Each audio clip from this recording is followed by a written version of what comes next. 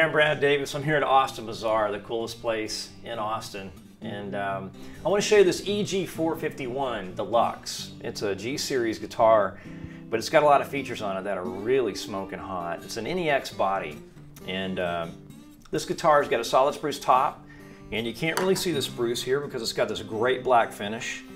It's also got mahogany back and sides. It's a great guitar. It's, it's built with a TP4T preamp, and this preamp, I want to show it to you. I want to turn it this way if I can and, uh, and show it to you. It's got a three band graphic EQ on it. That's really handy because you want to dial in your tone. You may want to go flat like this, or you may want to do like I do. I pull the mid and the highs down slightly and put a little bit of a smile on the, on the tone of the guitar. Very simple to use. This guitar has also got some great inlay in the neck.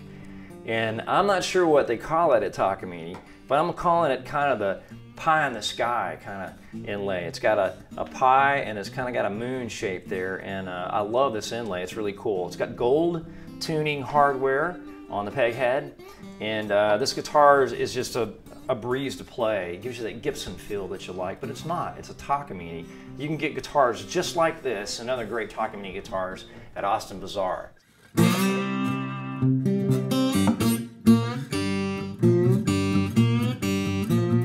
Mm-hmm.